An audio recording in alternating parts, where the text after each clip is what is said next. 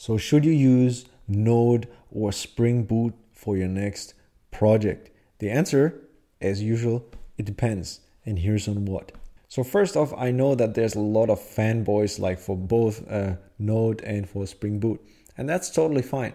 But I just wanted to mention one uh, thing. They are just tools, right? They are tools that execute on the business model. So the important thing is actually the business and not so much the programming language. It's just important to keep in mind, right? Let's always keep this in mind because, you know, we don't code for the sake of coding, but we code to achieve like a business goal. And I think this entire discussion has to be seen within that context.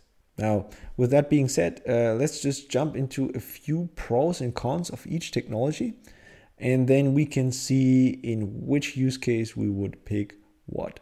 Let's maybe start with Node. Node is pretty good when it comes to getting things done. So you can just quickly write down like your code and it's totally fine. Uh, you don't have to deal with the type system. So that's pretty good. Um, so you're really, really quick. That would come in handy if you are doing a hackathon, right? If you do a hackathon, nah, you probably don't want to pick Spring or Spring Boot because you want to get something up and running as quickly as possible. And Node itself is very good when it comes to IO heavy things. So that means you have a lot of requests and they are just um, you know reading and writing to the database or you are um, streaming data like for real-time things something with sockets that's pretty good everything that is like io heavy and that does not have like many computations like these kind of things they are really good uh, when you do them with node plus another advantage is that the node ecosystem itself is huge. Like you have a library for pretty much anything. Of course, that also has a few downsides, right? With the node modules and, and these kind of things. Yeah, yeah. But the fact that you have a very rich ecosystem is very helpful because it allows you to reuse stuff. So that's like the third reason. Yeah, so the fourth reason is that it's pretty easy to find node developers, right? So everybody's grandmother can do JavaScript.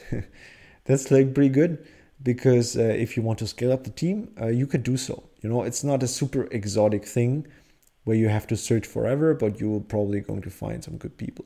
Number five is, of course, that it is very lightweight. So if you have like a personal project or you are on budget or you're just starting out, then a node server is like super good. It has super low uh, memory footprint and you can handle a lot of concurrent connections if you don't have business logic, right? That's the important thing. And that brings us to the cons of Node. The upside that it's very quick to write because it's not statically typed is also a downside at the same time, right? Because as your system grows, your system will be harder to maintain and stability might be an issue. So a lot of bugs can creep into a Node application that could have been avoided if you had chosen a statically typed technology like Spring Boot, for example. Uh, the second thing is that people are oftentimes very undisciplined when it comes to Node or to JavaScript simply because they, they just write it so that it works, but they don't pay too much attention to code quality and to stability. And it could be that your application is not as stable as it could be. Yeah, and another thing, I already mentioned it uh, previously, is that Node is not very good when it comes to computations. So if you have computations or any business logic, state machines, uh, these kind of things, I would advise against Node. I would strongly advise against Node uh, because it's just not what it is built for, right? After all, it's just a tool, and this tool works particularly well for a couple of use cases. But for other use cases, it just doesn't work at all that's basically where other technologies come into play. Yeah, so let's quickly talk about Spring and Spring Boot. So when we're talking about Spring and Spring Boot, we're talking about the JVM. And the JVM has just fantastic support for pretty much everything. There's an Apache library for anything you might ever want to do, including like complex computation, including encryptions, including like state machines. You can do anything in that technology. And that's why it's so good and that's why it's so commonly used in the enterprise. So it has a very, very good ecosystem.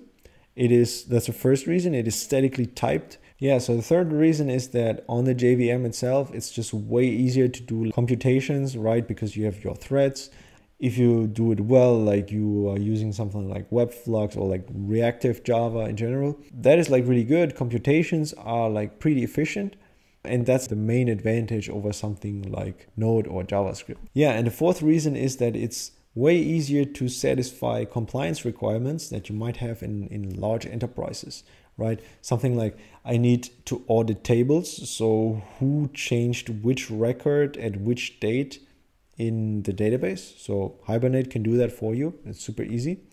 Uh, although Hibernate is not part of Spring Boot, it's like a separate thing, but pretty much everyone uses like Hibernate and, and JPA. And you know, just in general, like security things. So for example, encryption on the on the message level. So something like JSON Web Encryption, JSON Web Signature, these kind of things are very well supported by Java. But of course, uh, not everything is sunshine and rainbows. It also has some significant downsides. So for one, it has a very steep learning curve, right? There's the ecosystem is just so big you have very long class names. So for a beginner, it's probably not that easy to pick up. Um, the second thing is you are, of course, slower in actually writing the code, you know, because it is statically typed. Yeah, and another downside is that the resource consumption when it comes to hosting is like much, much, much higher than if you pick something like Node. So Spring Boot tends to consume a lot of memory. And of course, that's more expensive.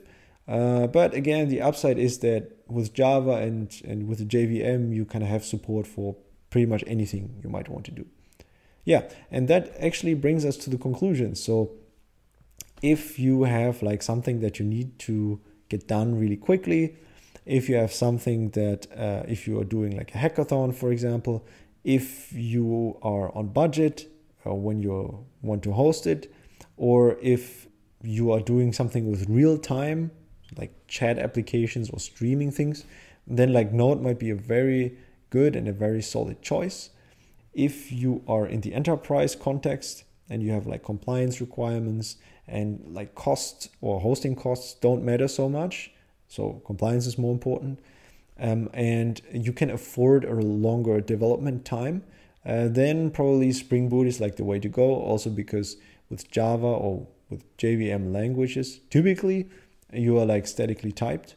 Uh, so of course with Java you are. And like one more thing I wanted to mention to kind of conclude this entire discussion is another super important non-functional aspect is what you already know or what your team already knows. So unless you have a very good reason for picking Spring or Spring Boot or any other technology, just pick what you already know. For if you know Node and you think, okay, that application might be good in Node, we don't have that much business logic, just go with that, right? Because remember, it's about the business and not about the tool. So if you already know something really well and the team is already proficient in it, just run with that. Yeah, so that's my take on whether you should use Node or Spring Boot for a particular project. As usual, the answer is it depends uh, yeah, so if you have any other questions, uh, please let me know in the comments down below. You can also tweet me. Uh, my Twitter handle is at productioncoder. Uh, if you have any comments, suggestions, or maybe I forgot something, please also let me know in the comments. And uh, yeah, apart from that, uh, thank you so much for watching. Please leave a like and subscribe. It really helps with the algorithm. And I hope to see you in the next video. Bye bye.